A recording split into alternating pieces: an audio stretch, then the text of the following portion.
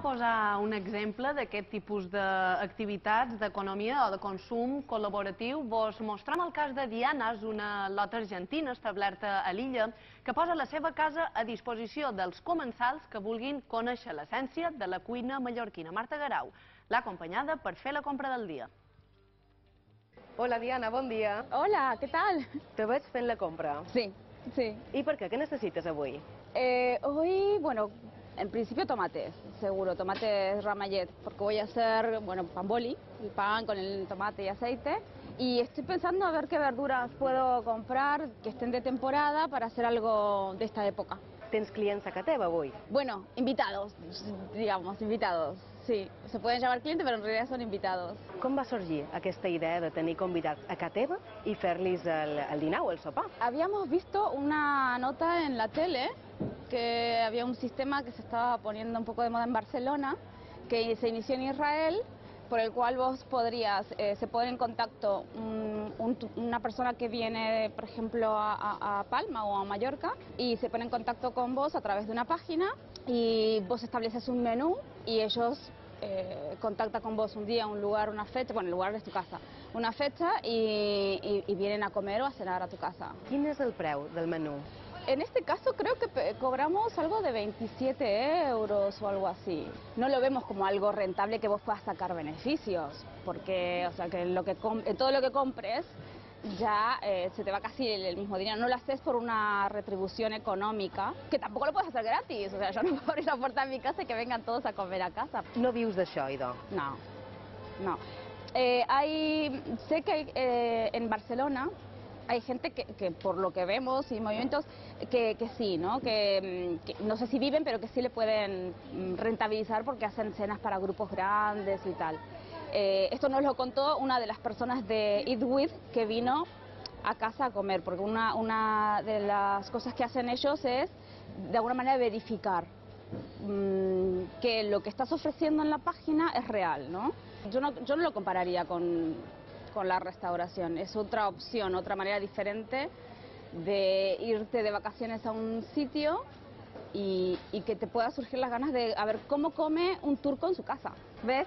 Aquí vengo a comprar las flores. Más o menos le pregunto a ver qué flores hay del día que estén bien de precio y con un ramito y en varios frascos de estos de mayonesa y tal, eh, con una cintita hago un- una decoración en casa. Tots els detalls. Todos los detalles, sí. I de no et robant més temps, que sabem que la nit es presenta llarga i deixant que continuïs fent la compra. Moltíssimes gràcies. No, de nada. Tomeu, sobretot, Tomeu Mas, eh, com a membre de, de restauració de CAEP, tenim un exemple d'aquest tipus d'economia col- col·laborativa eh, a la restauració. Què t'ha semblat? i podeu posar el nom que vulgueu. Però això blanc i en botella, és fer negoci. O sigui, aquests, aquests senyors ja no m'entram ara si és molt de negoci, si és poc negoci, si només són quatre que ho fan o si només hi caben tres persones dins que seva. Estem parlant de que a canvi d'un servei cobra. I damunt aquest cobra, eh, cobra hi té un guanys. Per tant, vull dir, està exercint una activitat econòmica que, com a tal, hauria de tenir qualque tipus de regulació, perquè si no això se diu competència deslleial i a partir d'aquí doncs, podem donar-li totes les voltes que vulguis, podem parlar de la tecnologia, que efectivament internet i les noves tecnologies han significat que han entrat moltes formes i moltes maneres diferents d'arribar al públic, Dir, tot això està molt bé, vull dir, però no han de posar portes en el camp, això eh, estem tot d'acord i s'ha de regular, Eh, passa que tecnologies, eh, internet, pues, és una porta com una persiana mallorquina. Eh? Vull dir, de, darrere veus el que passa de fora, però de fora vegades no, no sap el que ha de dins, no sap per la sombra. Mira, en geografia això li diem globalització, és a dir, és un, fenomen en el qual vull dir, ens hem d'adaptar. Jo crec que en molts casos la globalització té coses molt positives i té coses negatives. Ara bé, totes aquestes coses ja se feien abans, als anys 80 també. Eh? Hi havia gent que convidava a casa i cobrava fora del negoci. Jo el problema que veig, és a dir, és un negoci, em sembla molt bé que una empresa ho reguli o intenti treure un profit. Ara, com sempre, a mi el que em preocupa és la resposta de l'administració. L'administració és molt lenta i cada vegada més. No té manera de controlar moltes coses, de fer inspeccions i de regular quan vas a una llei. Tot plegat fa que la gent que és més espavilada avanci i tingui un negoci.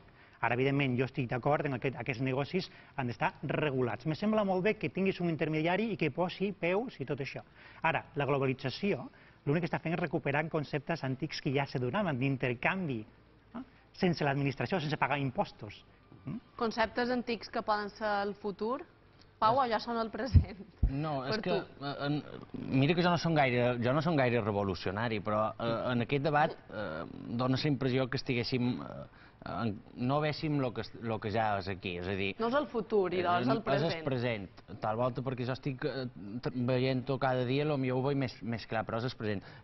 Miri, Da- Davos, en el fòrum, fòrum de Davos, que tam- tampoc no és que siguin precisament els més revolucionaris del món, ens diuen que aquí del 2020, per exemple, se perdran 100 milions de llocs de feina per, per aquest canvi digital. És a dir, eh, hi ha parts molt negatives, molt negatives a curt plaç i a mitjan plaç, eh, està clar, està clar. Però no hem de discutir com eh, regular això en el sentit de com intentar que els antics sectors eh, se mantenguin i que l'entrada dels nous sistemes eh, s'aturin, sinó que hem d'acceptar, acceptar, no sé què vulguem posar i ja no se pot fer una clau a internet, acceptar que això ja és la realitat. La realitat és que qualsevol persona que té coses que li sobren, per el temps, el temps eh, li sobra, el cotxe, el 95% dels temps els cotxes De fet, estan hi ha gent que aturats. també intercanvia eh, temps, eh, no? canvien menjar.